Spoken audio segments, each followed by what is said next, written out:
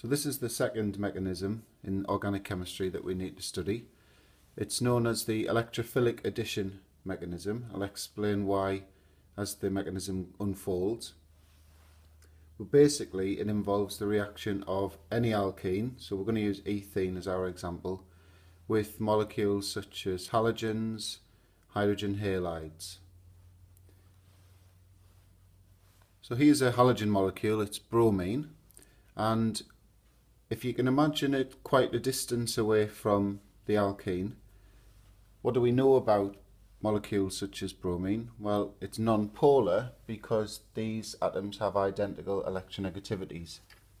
So the electron pair in that bond is exactly in the middle. So it's non-polar.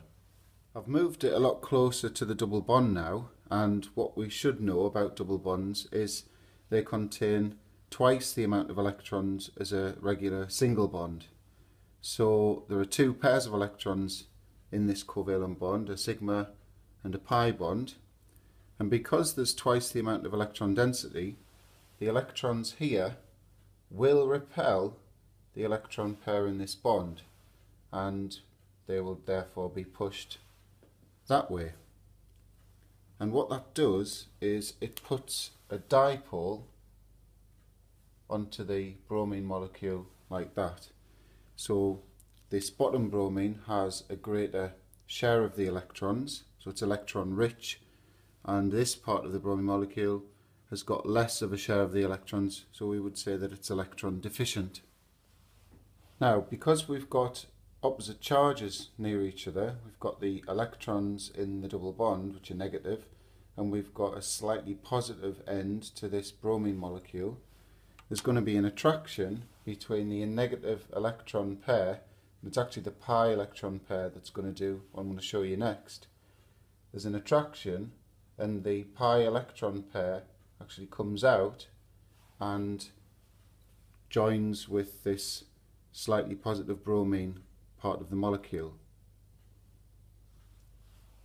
What that does is it means that electrons, these elect this electron pair now is much closer to this electron pair and so they are repelled completely onto the bottom bromine and effectively this bond breaks. Now hopefully at this point in the mechanism you can see why it's known as electrophilic. You can see there something has just accepted a pair of electrons and hopefully you can realize or appreciate that it's this bromine here. So this electron deficient bromine in the Br2 molecule has attracted this pair of electrons and it's the pi electron pair that comes out to form this new bond. Just drawn a dot and cross diagram here for the Br2 molecule to try and explain how this bond breaks.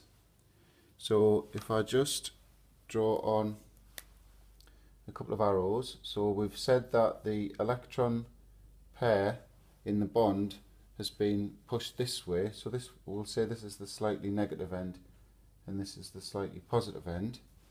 The pi electron pair comes in to meet the slightly positive part of the bromine molecule and this pair of electrons in the bond is pushed completely on and the bond breaks.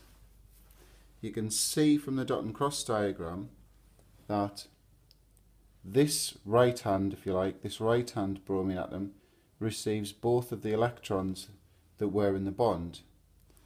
This bromine part of the molecule, this bromine atom, doesn't get any of the electrons from the bond. And so this is known as heterolytic fission.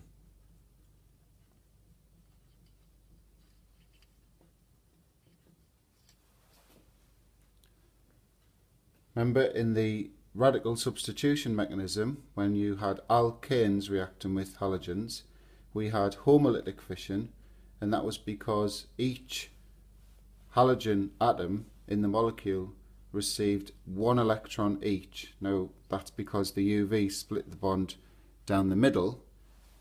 In this case, the bond is split unevenly, if you like. That's where the hetero comes from, different. So this bromine receives two electrons from the bond and this bromine doesn't get any from the bond. Heterolytic fission. So I've just drawn up there the intermediate that forms as a result of what's happened here and you can see that we have a positively charged ion, I'll explain why in a second, and because this contains carbon atoms it's known as a carbocation. Cations are positively charged ions, contains carbon so it's called a carbocation. So you can see that this new bond here, if I just colour that in red, this bond here contains the, the pi electron pair, if you like. So they were here, they're now here. So the positive charge comes from the fact that effectively this carbon here has lost one of its electrons. So if you remember the pi bond, there was a shared pair of electrons in the in the p orbital. The p orbitals of these carbon atoms have overlapped and formed this pi bond.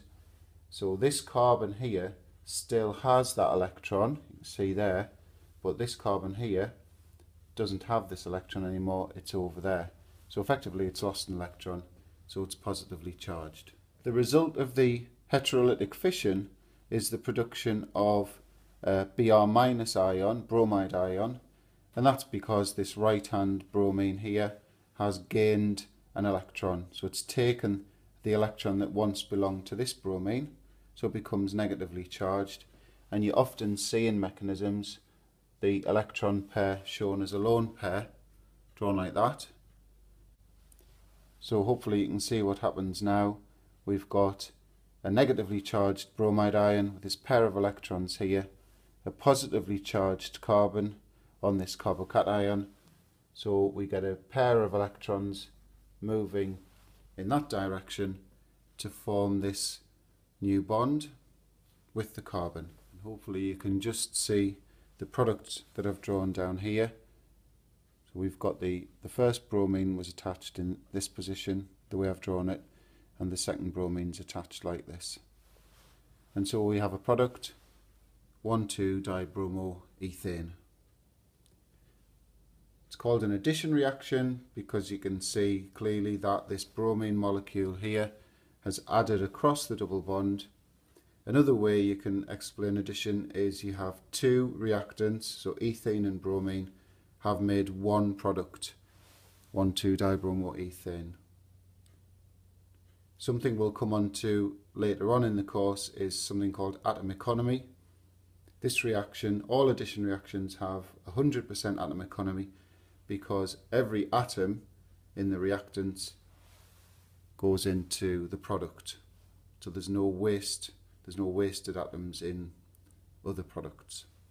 Just do a quick comparison with an alkane and bromine. So I've just drawn up ethane, the corresponding alkane to ethene. The bromine molecule can get as close as it wants to this alkane because you haven't got this high electron density across the single bond, this bromine molecule remains completely nonpolar. And so there is no there would be no attraction between these two molecules. And so the reaction can't happen.